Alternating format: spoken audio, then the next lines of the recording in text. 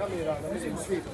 Može komentar na sinoćnu utakmicu, kako Pa ja mislim da što se tiče komentara nije potrebno da govorim, vidjeli ste svi, igrali smo daleko ispod naše mogućnosti. Bili smo nadigrani, čak u pojedinim situacijama izgledali smo smiješno.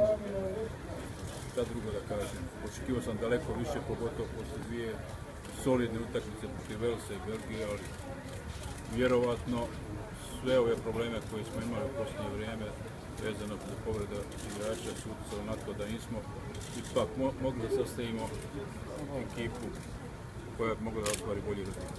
Selektore, danas u 16 sati održava se vanredna sjednica u kojoj bi se trebalo razgovarati navodno o vašoj smjeni. Imate li kakav komentar na to?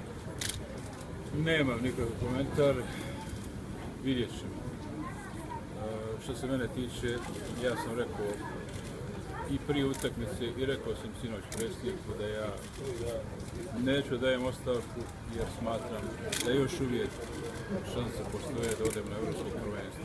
Male su, ali teoretske šanse postoje. Dogod je tako, ja neću ostaviti.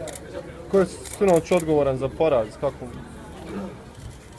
Ko bi mogao biti? Selektori igrači. Kako, kako ćemo u naredni ciklus? Naredne utakmice? to možda jednom drugom prilikom da, da, da pričam. Nije, nije sad moment, evo gospodin je već upoznat s tim da ima sastanak. Informacija procuri prije nego što oni dogovore sastanak, već informaciju vi dobijete. Mora da, da ste zaista jaki. Ljudi upravo komentaršu o tome kako ne bi trebalo se zna za taj sastanak, a vi već znate. To je jedan problema isto od nas. Hvala. Hvala se